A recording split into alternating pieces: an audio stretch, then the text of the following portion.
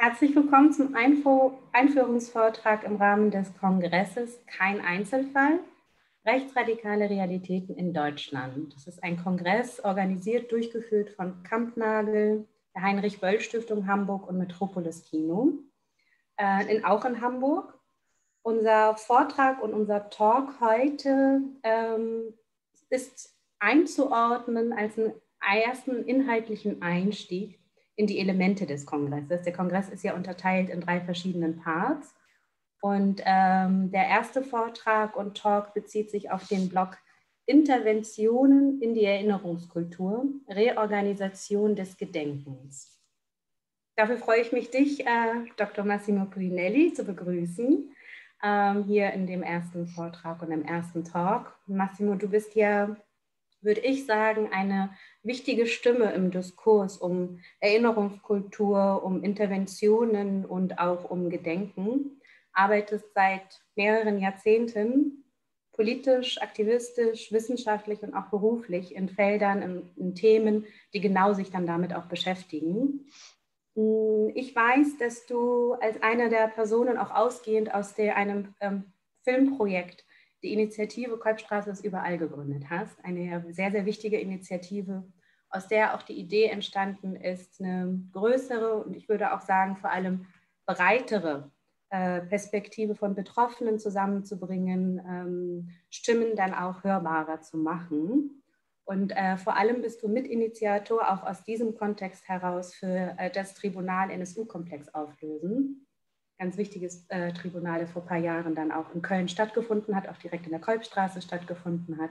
Aus dem Kontext der Solidarität mit Betroffenen von rechter Gewalt kennen wir beide uns ja auch. Und du hast ähm, zahlreiche Publikationen neben deiner Arbeit, die du auch äh, aktuell machst bei der Rosa-Luxemburg-Stiftung als Referent für Migration, und zwar der Bundesorganisation äh, der Rosa-Luxemburg-Stiftung, bist du auch weiterhin aktivistisch wissenschaftlich und politisch unterwegs und hast ja auch viele Publikationen. Eins davon würde ich gerne herausgreifen heute, weil ich äh, denke, dass sie auch für die inhaltliche Einführung, aber nicht nur für die Einführung, sondern auch die Auseinandersetzung zu der Fragestellung keine Einzelfall oder keine Einzelfälle, rechtsradikale Realitäten in Deutschland ganz relevant wird, ist eine etwas neuere Erscheinung, die du mit herausgegeben hast. Das Buch Erinnern, Stören. Der Mauerfall aus migrantischer und jüdischer Perspektive.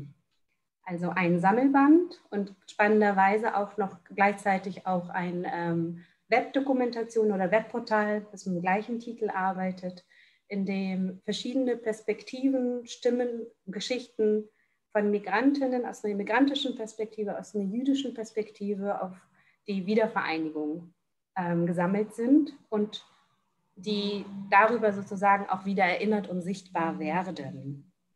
Und die Erinnerung bezieht sich dann auch nochmal sehr konkret, sowohl in den Beiträgen wie auch in den verschiedenen Stimmen, die in diesem Webportal äh, sichtbar sind, auf die Kämpfe um Anerkennung. Kämpfe um Anerkennung auch nochmal im Fokus 80er Jahre, die äh, massiven Gewalterfahrungen dann auch in den 90er Jahren, ähm, beginnen schon in den 80er Jahren und vor allem dann auch die ja, sehr einschneidenden Ereignisse ähm, auch aus dieser Zeit. Und gleichzeitig geht es auch um ein Erinnern und Analysieren der Interventionen zu diesen, ne, der antirassistischen Kämpfe auch in den 90er Jahren dazu. Ich freue mich sehr, dass du heute mit dabei bist, äh, Massimo, deinen Vortrag zu hören. Jetzt erstmal mit dem Titel 30 Jahre NSU-Komplex, 30 Jahre Migrantifa. Ich dir, übergebe dir gerne das Wort. Herzlich willkommen nochmal. Ja, vielen Dank, Nissa, für die nette Einführung. Und ich möchte mich auch zunächst erst nochmal bei Jens Geiger und bei Nette Hans ähm, äh, bedanken äh, für die Einladung und auch bei dem Beirat äh, dieser Veranstaltung für die Möglichkeit, hier im digitalen Kongress zum kommenden Antifaschismus äh, einen Input geben zu können. Ähm, und zwar rede ich heute zur Geschichte, du hast ja schon gesagt, migrantischer Selbstorganisierung und antirassistischer Kämpfe.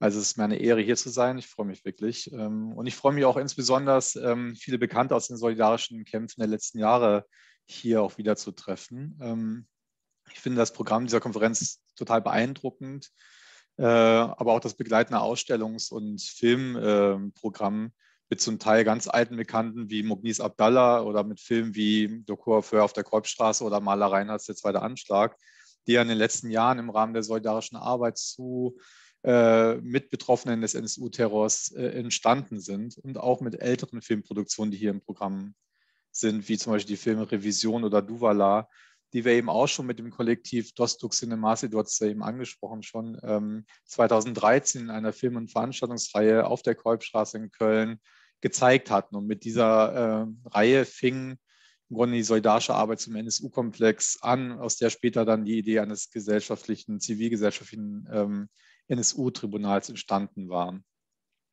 Ähm, deshalb möchte ich mit meinem Input mit dem Titel 30 Jahre NSU-Komplex, 30 Jahre Migrantifa auch in der Kolbstraße äh, seinen Ausgang nehmen lassen.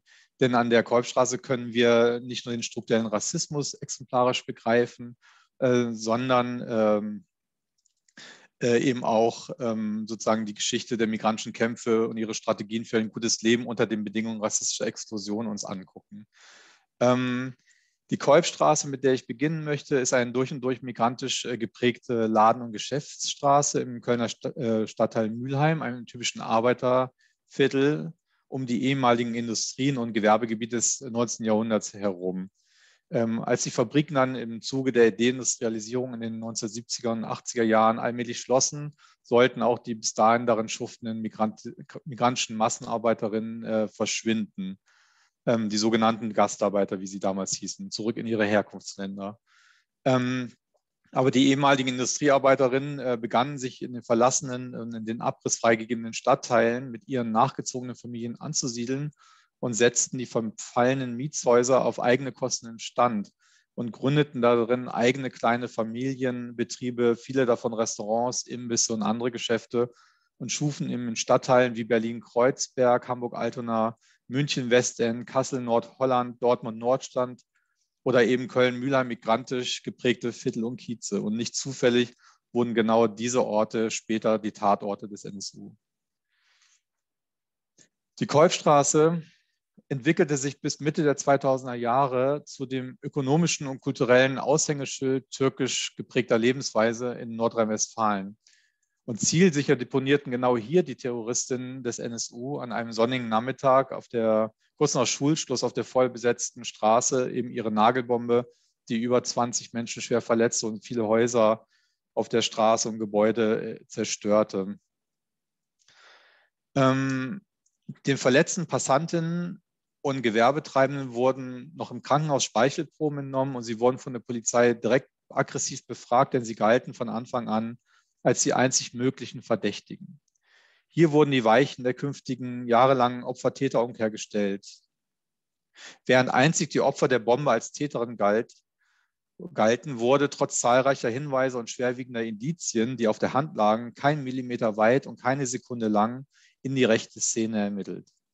Für die Betroffenen bedeutete dieser strukturelle Rassismus eine Odyssee von Verdächtigungen, Unterstellungen, Isolierung, Diffamierung und Erpressung.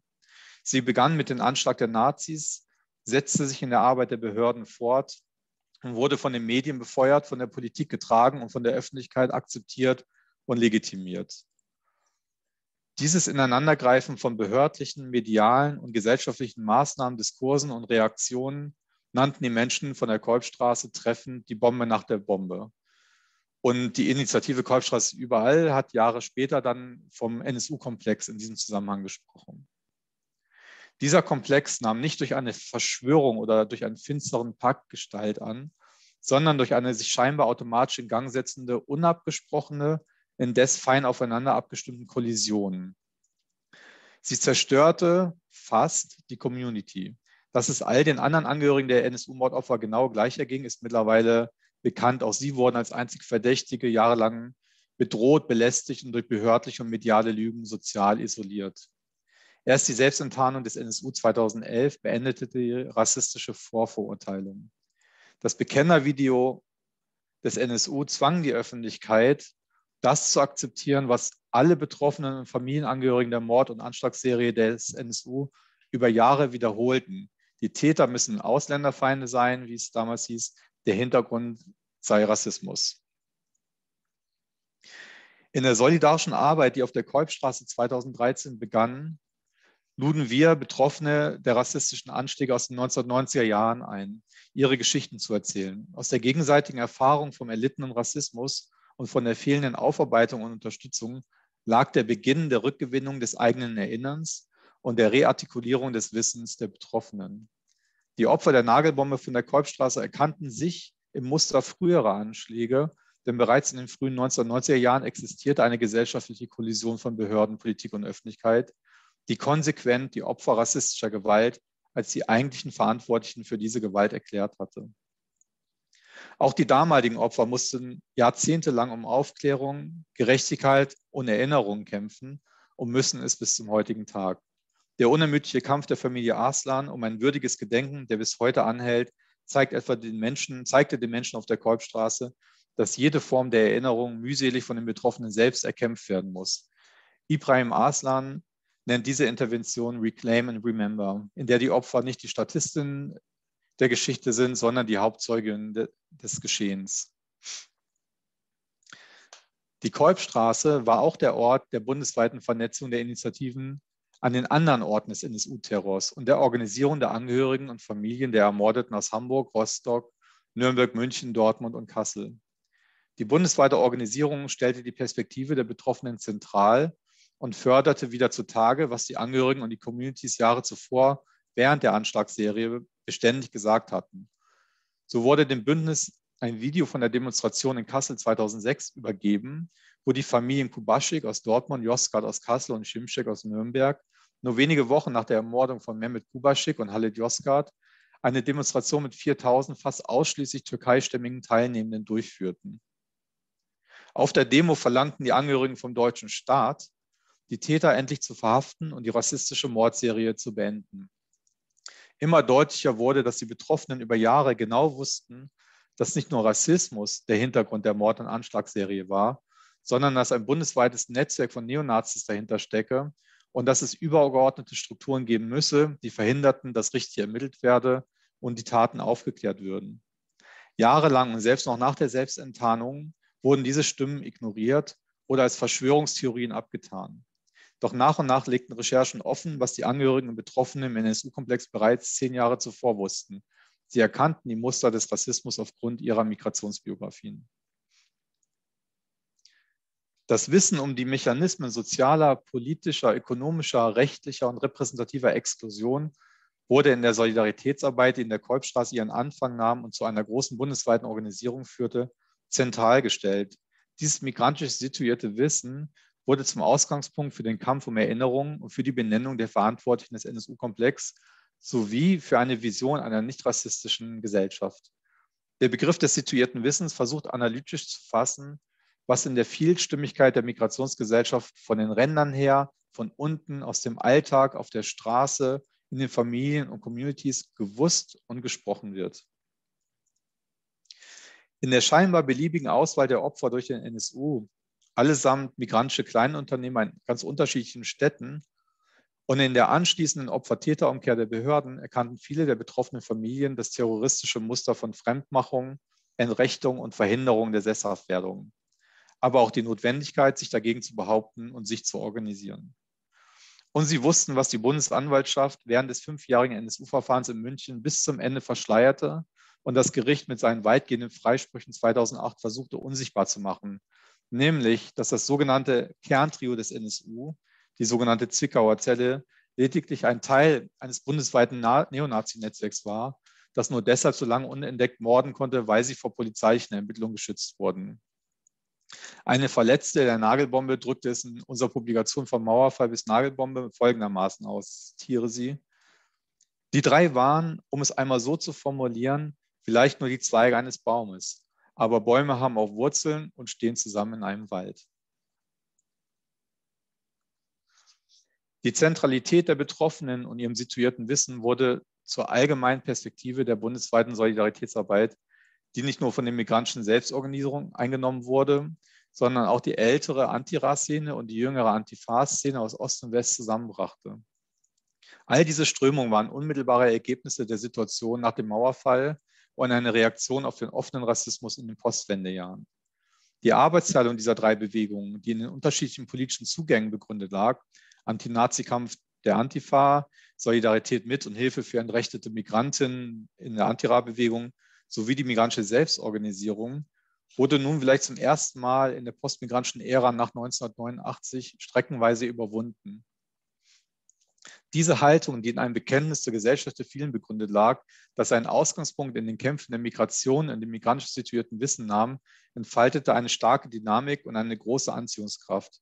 Gemeinsam wurde in dieser Haltung die Idee eines zivilgesellschaftlichen Tribunals entwickelt.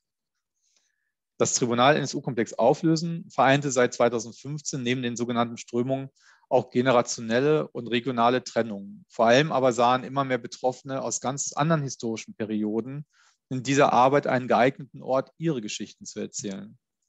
So schlossen sich Initiativen und Selbstorganisierungen aus aktuellen Refugee-Kämpfen der bundesweiten Organisierungen an, wie etwa die Urijallo INI, die seit 15 Jahren den Tod des Geflüchteten aus Sierra Leone in einer Gewahrsamszelle der Polizei in Dessau aufklären und als Mord anprangern.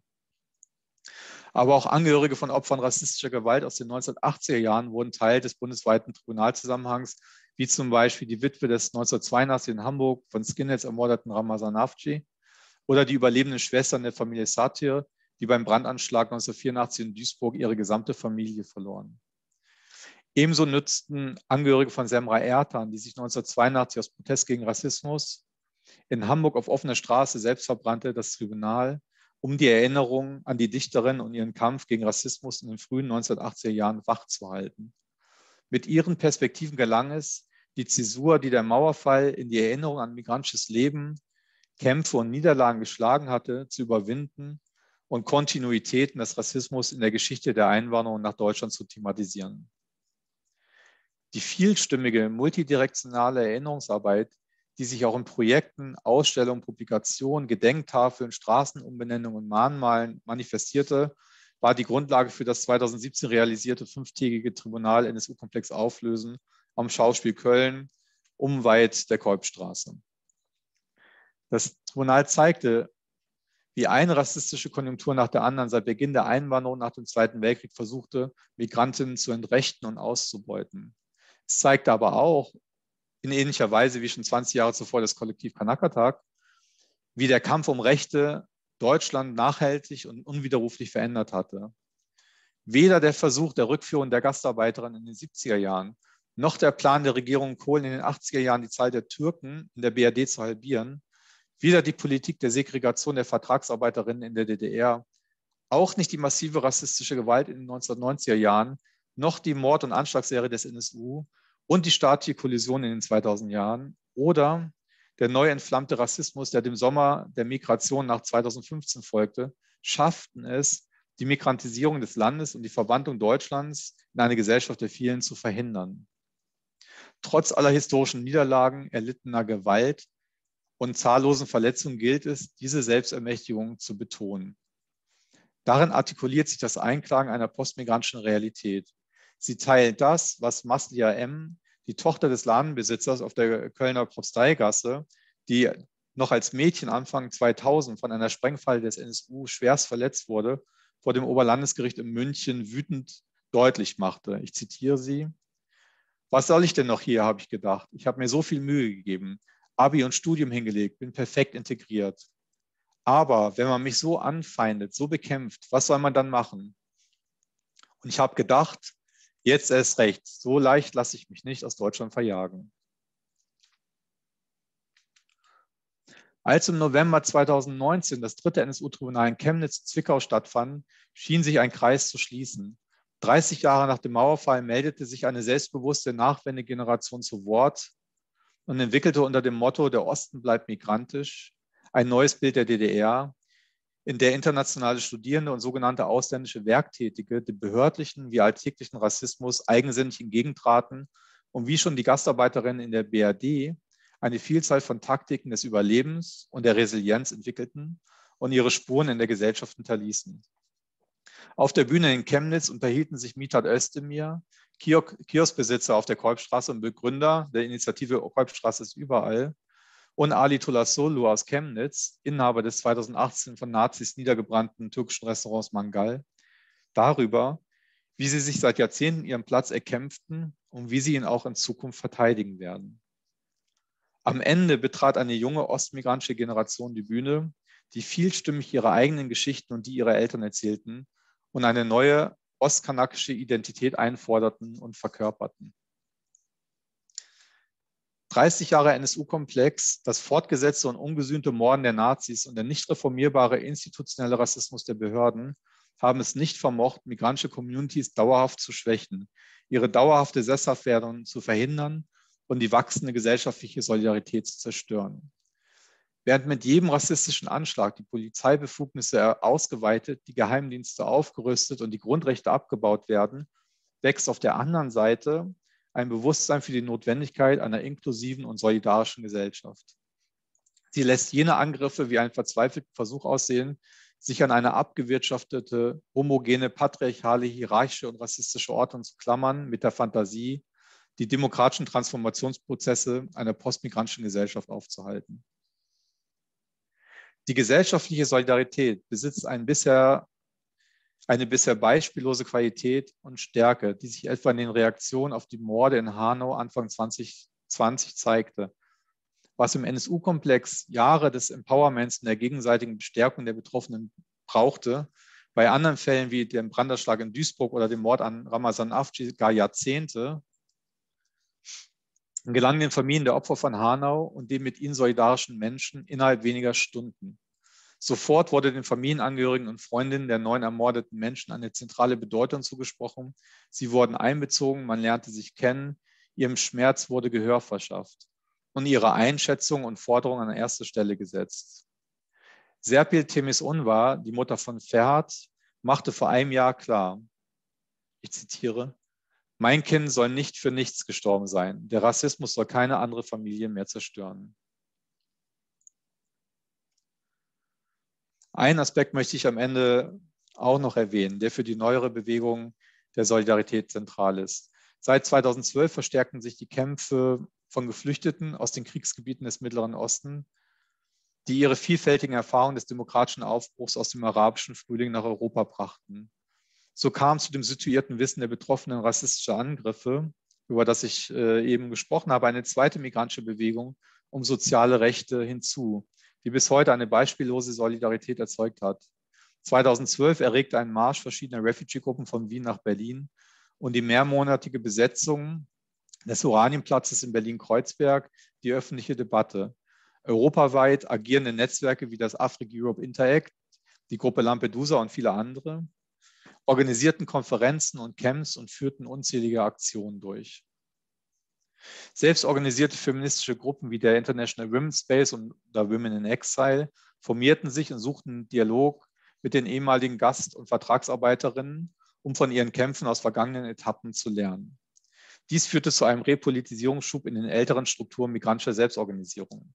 2015 erzwangen schließlich knapp eine Million Geflüchtete eine Passage von Griechenland über die Balkanroute nach Deutschland und in andere Länder des Nordens und erinnerten Europa nicht nur an seine postkoloniale Verantwortung, sondern auch an sein demokratisches Versprechen.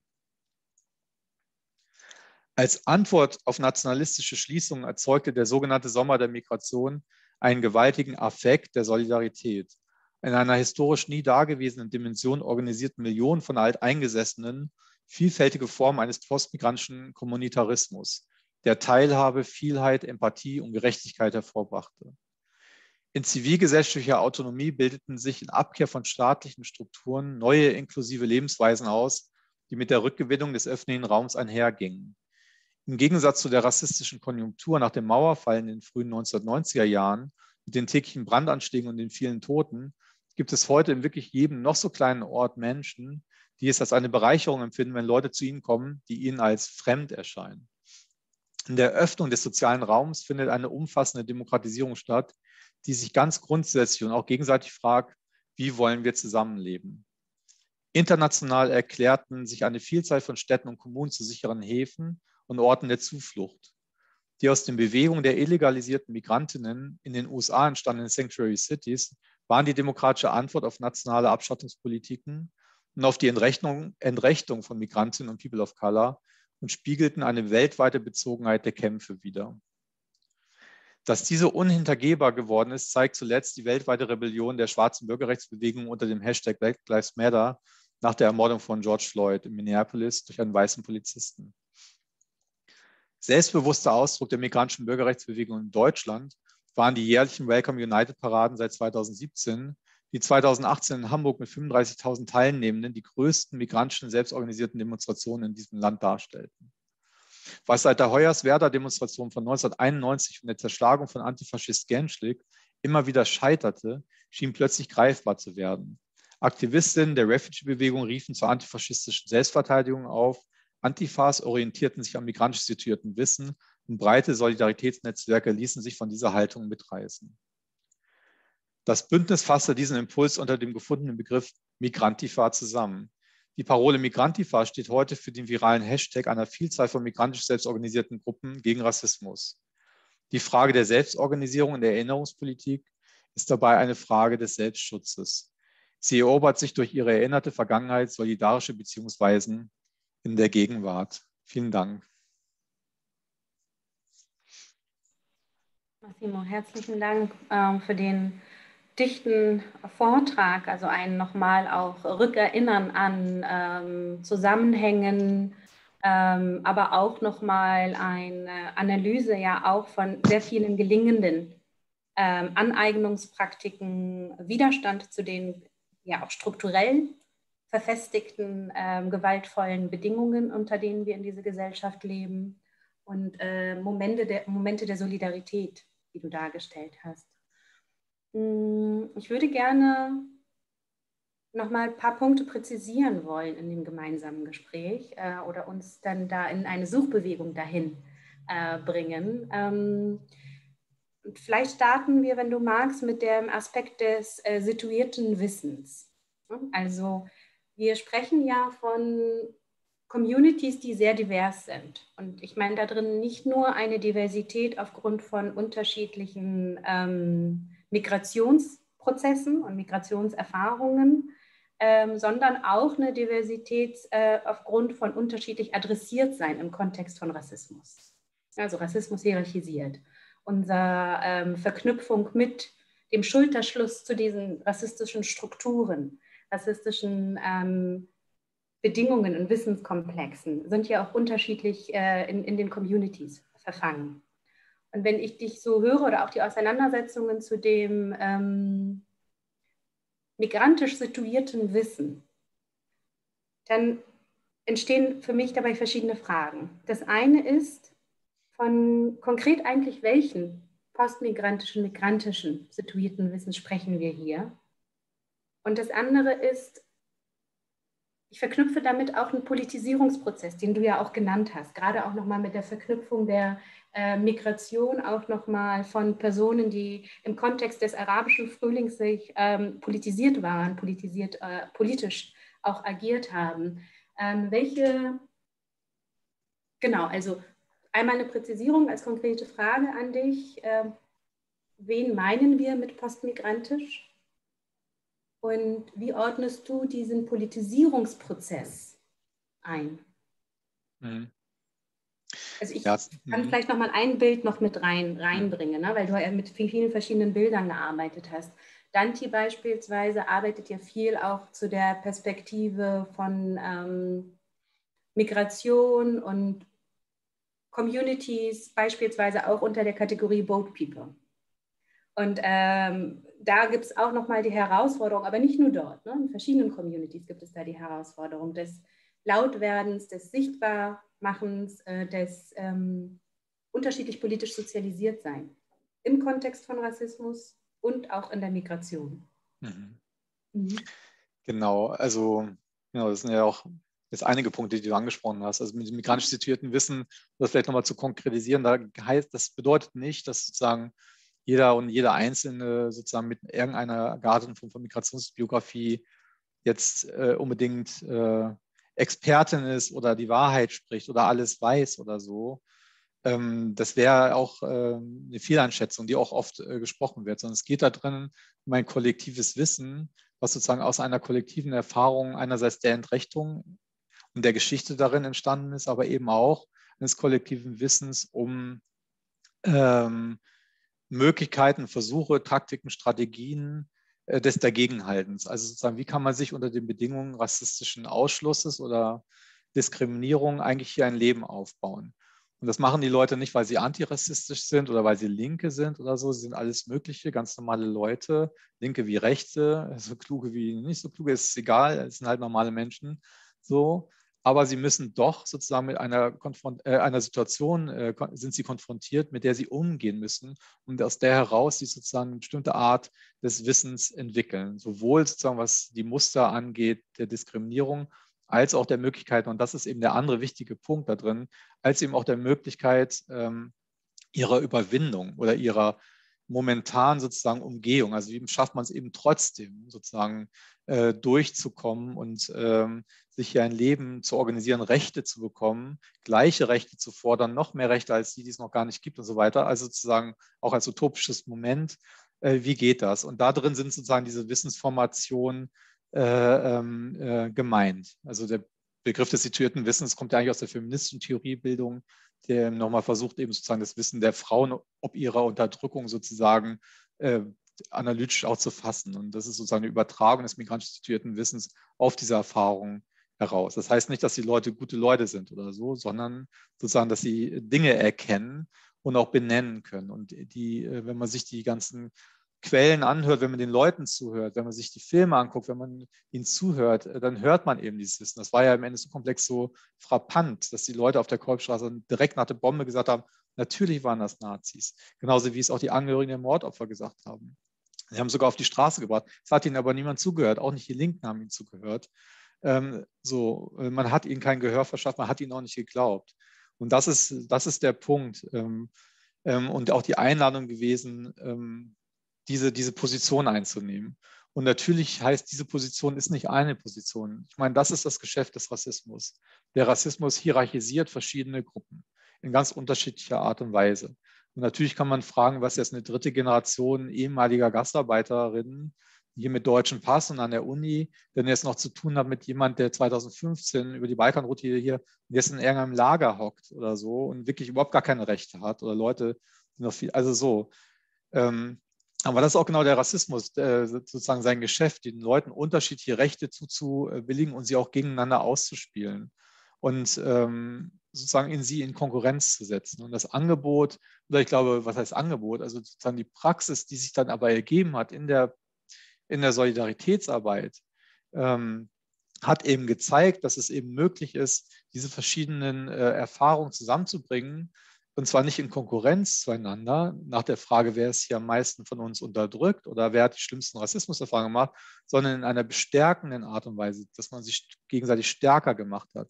Also deswegen hatte ich auch kurz dieses Beispiel skizziert von dieser Konferenz, die äh, International Women's Space organisiert hat, 2018, glaube ich, oder 17, 18, äh, als sie nach Deutschland kamen, hieß die, wo sie als geflüchtete Frauen, die sich organisiert haben, sich mit ähm, älteren türkischen, griechischen Frauen zusammengetan haben, also aus der Gastarbeiterzeit, um zu sagen, hier, ihr habt schon gekämpft 20 Jahre vor uns, jetzt kommen wir, lasst uns miteinander reden. Und natürlich, die einen haben vielleicht schon einen deutschen Pass oder ihre Kinder haben schon einen und so, äh, eine ganz andere Situation. Und trotzdem hatten sie sich eben total viel zu sagen. Und es wurde eine unglaublich starke ähm, Haltung daraus entwickelt. Und ich glaube, oder wir müssen eben aufpassen, dass dieses beständige Reden von dass es eigentlich ein Konkurrenzverhältnis ist zwischen den verschiedenen von Rassismus betroffenen Gruppen, im Grunde genommen auch immer das Geschäft des Rassismus ist, das zu betonen. Und das aber in der Solidaritätsarbeit, wenn diese verschiedenen Menschen mit ihren Erfahrungen aufeinandertreffen und sich gegenseitig erzählen,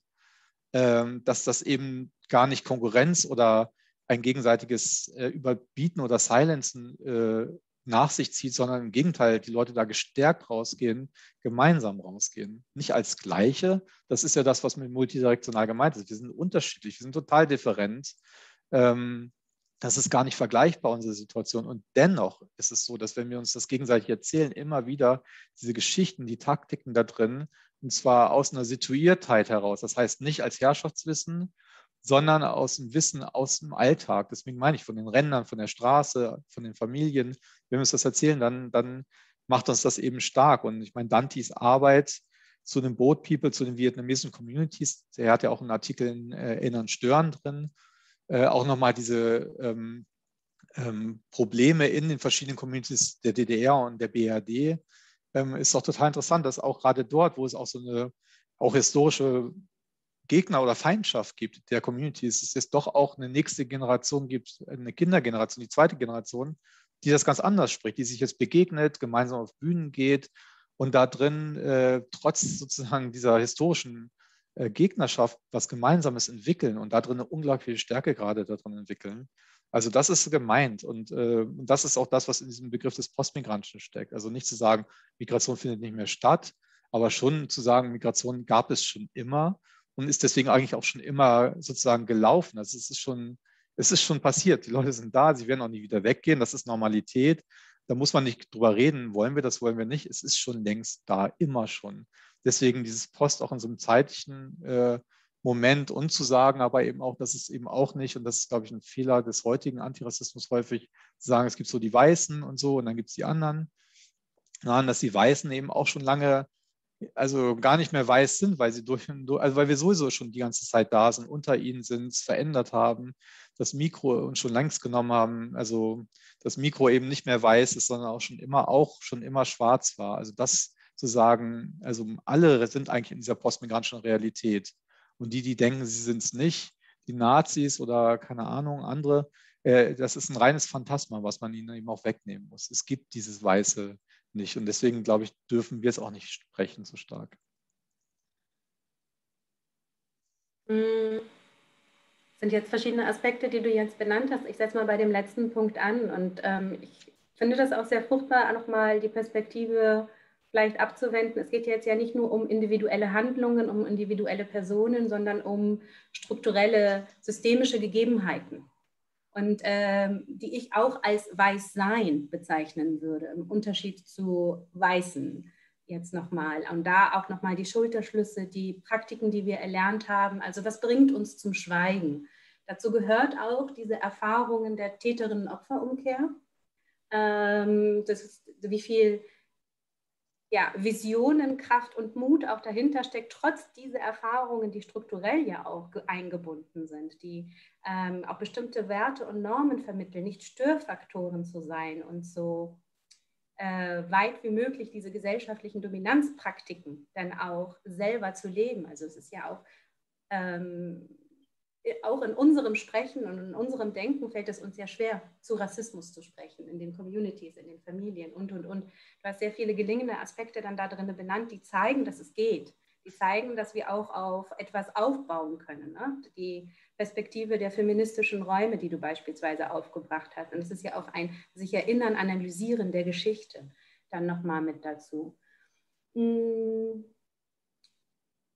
Vielleicht genau daran anknüpfend, Massimo, dieses Rückerinnern oder Reflexion, ein Geschicht, Geschichtsbewusstsein könnten wir das jetzt auch nochmal benennen. Gerade weil du auch Kontexte genannt hast, auch der migrantischen Kämpfe, Migrantifa ja auch vor allem, die sehr unterschiedlich in verschiedenen äh, Bundesländern sind und dass es nicht immer nur Gruppen sind, um die es geht. Das finde ich muss auch ganz, ganz wichtig werden. Es hm. ist ja auch eine politische Praxis dahinter.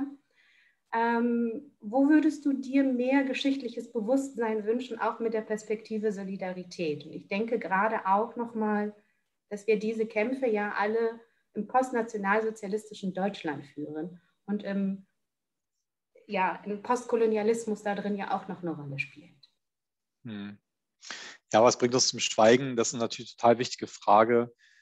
Ähm, und natürlich ist eine Antwort darauf auch dieses ähm, das gelernt werden muss, zuzuhören. Also um gegenseitig das wertzuschätzen und tatsächlich in die Geschichte zu gucken. Es gibt oft den Vorwurf zu sagen, dieses Reden von der Gesellschaft der vielen oder so oder diese, diese Aneignung, dieses Bestehen darauf hier schon längst irgendwie auch äh, sozusagen gewonnen zu haben in einer gewissen Weise, äh, würde sozusagen die, die rassistische Gewalterfahrung äh, unsichtbar machen oder verharmlosen oder so.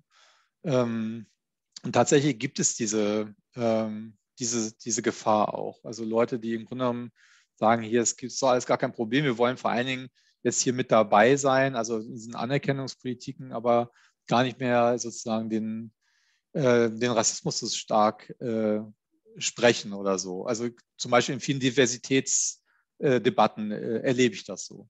Ne, dass, ähm, und dann gleichzeitig gibt es aber eben auch das andere, die andere Seite, die im Grunde genommen die ganze Zeit über die Tradition der Gewalterfahrung eben spricht, wo es als störend empfunden wird, wenn man sagt, naja, aber guck doch mal, äh, was es denn schon auch alles gab an, und gibt, sozusagen an Organisierungen, an gelingenden solidarischen Bündnissen, also wo das dann wie so eine als Gefahr angesehen wird, weil es dann sozusagen die eigene Position der Betroffenheit in Frage, als ob es das in Frage stellt oder so. Wir hatten ja im Tribunal dafür versucht, äh, eine Methode zu entwickeln, die wir sozusagen den antirassistischen Dreiklang genannt haben oder unsere drei Klagen, die wir formuliert haben.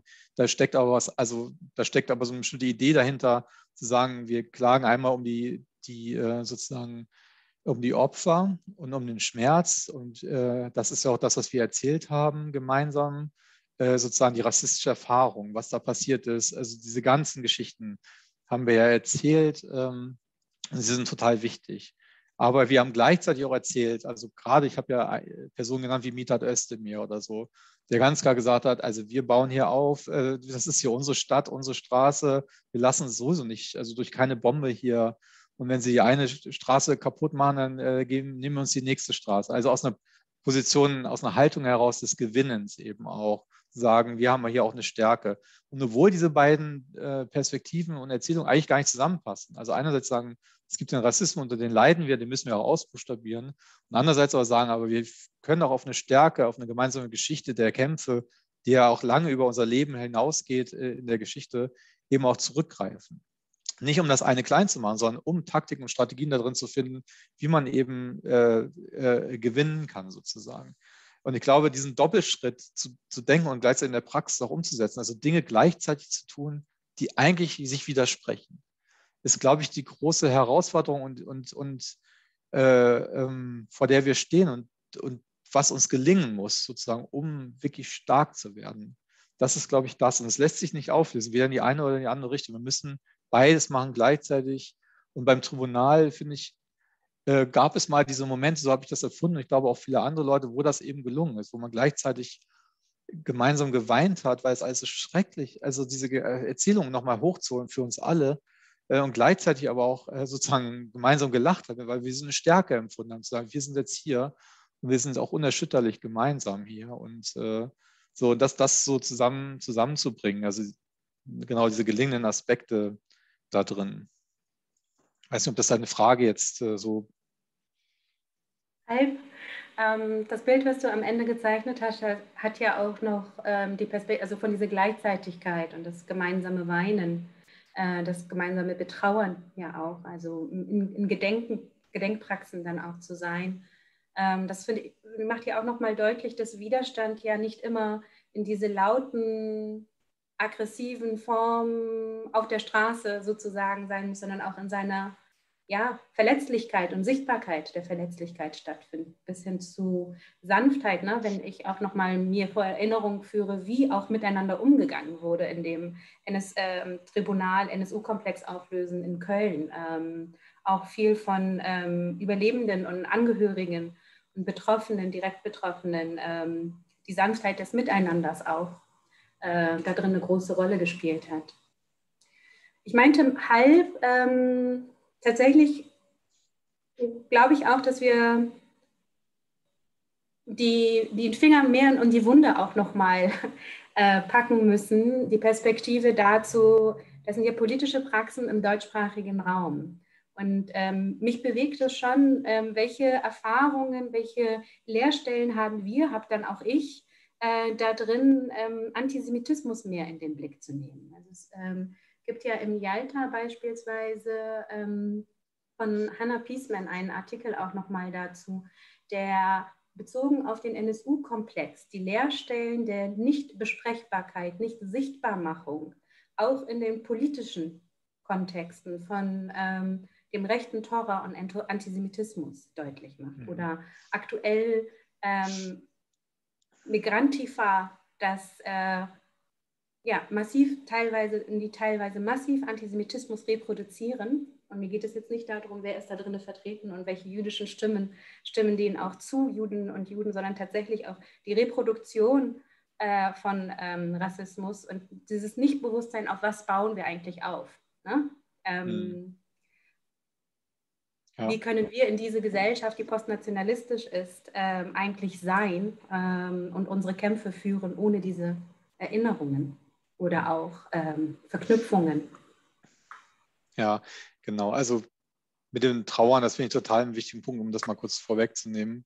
Äh, ich rede die ganze Zeit oder wir sehr stark immer von den Kämpfen, den Kämpfen, äh, aber das ist damit gemeint. Da geht es nicht um Laute, immer um Laute sagen, ganz im Gegenteil. Und gerade die Trauer, äh, Judith Butler hat das mal genannt, der Aufstand der Trauernden, wenn die zusammenkommen und zu trauern, äh, was sie eigentlich nicht dürfen und sollen und dann tun sie es aber doch, das hat eine total Bedeutung. Gerade da drin auch sozusagen die Leisen und äh, die Empathie und das sich, sich wahrnehmen und sich auch in den Arm nehmen und so weiter. Also sozusagen diese, dieser Aspekt ist total wichtig. Also genau, ist, ich denke es manchmal auch um diesen Begriff der Kämpfe, weil es impliziert immer was anderes, aber das ist eigentlich damit auf jeden Fall auch gemeint. Und gerade die Trauerarbeit ist unendlich wichtig und ähm, Ibrahim Aslan sagt das immer, dass es eben auch heilend ist. Ne? Also wenn man da gemeinsam zusammenkommt.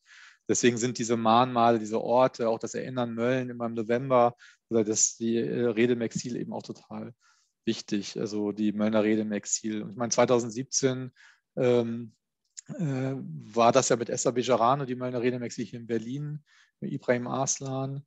Und ich meine, die beiden haben sozusagen zwei Geschichten nebeneinander gestellt und in, in eine Nähe zueinander gerückt, indem Esther äh, äh, geredet hat, gesagt hat, äh, wie sie als Mädchen eben äh, sozusagen ihre Familie verloren hat, an, von Nazis ermordet. Und natürlich ihre Geschichte ist die einer Auschwitz-Überlebenden ähm, im Nationalsozialismus, die als Mädchen dort überlebt hat. Und sie hat das aber so gesprochen und Ibrahim hat dann gesagt, wie er als Junge sozusagen seine Familie durch Nazis verloren hat. Also sie haben das nebeneinander gestellt, wo natürlich viele, bei vielen Leuten die Alarmglocken angehen, zu sagen, hier, die, die äh, Singularität der Shoah wird jetzt hier irgendwie relativiert oder als ob das dasselbe wäre, ein Brandanschlag in den 90er Jahren, Mord und der systematische, äh, sozusagen die Shoah und der, ähm, der ähm, systematische industrielle Mord äh, der Juden und Jüdinnen im Nationalsozialismus.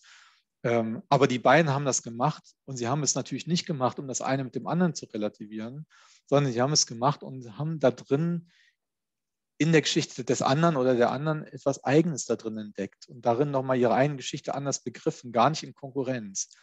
Und ähm, das finde ich total wertvoll und das muss man sich angucken, ohne direkt draufzuhauen und zu sagen, wie kann man nur, das eine ist doch das, das andere ist das oder so.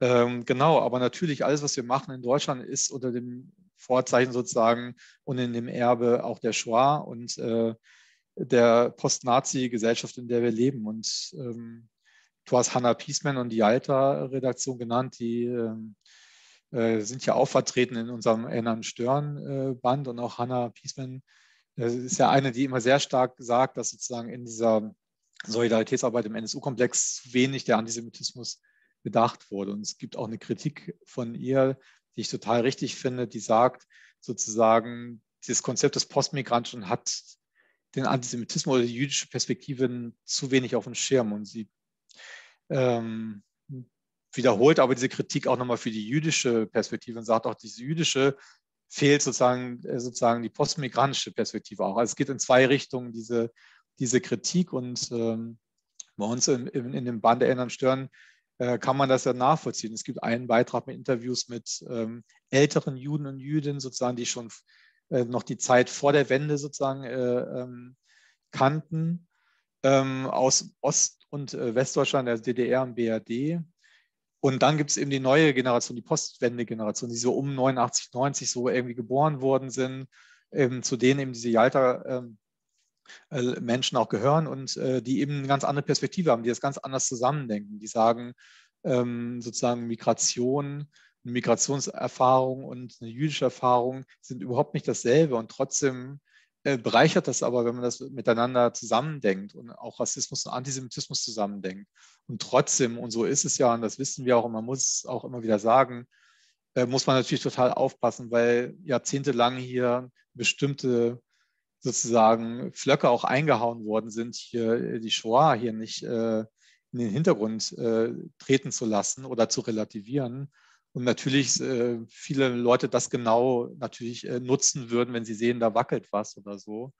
Und ich finde aber gerade, und das ist wirklich, ähm, also ich habe da unglaublich viel gelernt von Hannah und von den anderen, dass sie auch nochmal sagen, also dass, äh, wenn man das aber so sakrosankt, den Antisemitismus so sakrosankt in den NS immer sozusagen, immer damit nur also musealisiert, dann kommt man eigentlich nicht zu einem Kampf gegen den aktuellen Antisemitismus, wie er sich auch in Anschlägen des NSU und aber eben jetzt auch in Halle und Hanna und so weiter zeigen, ähm, sondern es bleibt halt immer in dieser, in dieser, ähm, ja, in, in, dieser geheiligten zwar, aber doch sozusagen auch nicht mehr zu, zu erreichenden äh, Geschichte verharrt. Und die Frage ist, wie kann man den Kampf gegen Antisemitismus und auch aktualisieren oder den aktuellen Antisemitismus bekämpfen?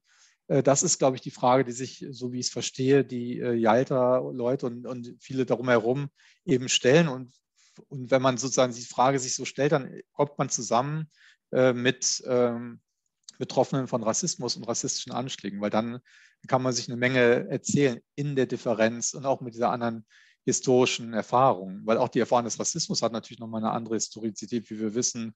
Da müssen wir über Kolonialismus reden und andere Geschichten. Also sozusagen so. Ne? Also ja, aber ich wollte noch mal sagen, also wenn die Betroffenen davon zusammenkommen, gibt es eigentlich selten ein Problem. Das Problem wird oft von außen eigentlich so ran, rangetragen. Ich finde das einen wichtigen Aspekt. In der Solidaritätsarbeit selber äh, äh, habe ich es bisher selten erlebt, dass das dann so plötzlich so zum Konflikt wird oder so. Ich finde das vielleicht nochmal ein letzter Aspekt für, für, unseren gemeinsamen Talk mit Blick auf die Zeit. Ähm, das, was du gesagt hast, erinnert mich ja auch an die ähm, schnellen ähm, Bündnisse und Solidarisierung vor allem, äh, auf die ja unglaublich auf, äh, schnell aufeinanderfolgenden Anschläge, äh, terroristischen Anschläge Halle-Hanau. Ähm, und darin die Solidarität der Betroffenen dann auch miteinander. Und ich erkenne darin, also wenn, wenn wir sagen, wie, Ne? Rassismus heute strukturell, strukturalisiert, institutionalisiert, Antisemitismus heute strukturalisiert und ähm, institutionalisiert. Da gibt es viele verschiedene Aspekte und unter anderem, was ja auch aus diesen beiden Anschlägen sehr, sehr deutlich wird, ähm, die Parallele, dass Rechtsstaat und entsprechende Institutionen keine nachhaltige Verantwortung scheinbar übernehmen dass äh, das Recht auf Schutz, was ja Aufgabe eines Rechtsstaates ist, ähm, sehr selektiv funktioniert in diese Gesellschaft. Und diejenigen, die es nicht haben, ähm, mit ihren unterschiedlichsten Positioniertheiten und Erfahrungen darin eine Gemeinsamkeit äh, auch haben. Und du hattest ja in deinem ähm, Vortrag den Aspekt nochmal genannt der zivilgesellschaftlichen ähm, Vernetzung und Aufklärung und der Notwendigkeit dessen. Also ich will damit jetzt nicht sagen, dass ich ähm, Rechtsstaat, äh, dem Rechtsstaat und den entsprechenden Institutionen die Verantwortung dafür gerne abgeben möchte, äh, die politischen Diskurse zu tragen und die Veränderung der Gesellschaft äh, voranzutreiben. Ähm, gleichzeitig aus der Perspektive als Hamburgerin gesprochen, leben wir in einem Bundesland, das immer noch keinen Untersuchungsausschuss zum NSU hatte, obwohl hier ein Mord stattgefunden hat. Ähm, und wie die Notwendigkeit dessen, dass Zivilgesellschaft da drin sichtbar wird. Und im Grunde genommen, kleiner, also runtergebrochen, heißt es ja, ähm, in diese Aufgabe und Verantwortung zu gehen, als Personen, die sich damit äh, mit diesen Gewaltverhältnissen auseinandersetzen und aber auch als Personen mit den eigenen Erfahrungen zu Rassismus und oder Antisemitismus, sich sichtbar zu machen da drin. Also dieses Dilemma auch ähm, des adressiert sein müssen und auch in diesen Rollen dann auch antworten müssen. Ähm, ja, Vielleicht magst du noch ein paar Aspekte zu diesem Dilemmata sagen. Ich will gar nicht jetzt, dass wir abschließen mit einer pessimistischen Perspektive, weil ich äh, bin auch äh, sehr überzeugt, dass da drin auch kraftvolle Aufforderungen da drin gibt, mit den Erfahrungen, mit dieser ähm, Erkenntnis dessen, dass wir diese Aufgabe haben und aus dieser Verantwortung leider Gottes nicht rauskommen, also die, gar nicht das Privileg dazu haben, äh, uns da drin sichtbar zu machen, nicht sichtbar zu sein oder uns zurückzulehnen. Vielleicht magst du noch mal ein paar Aspekte da drin auch noch mal präzisieren. Hm.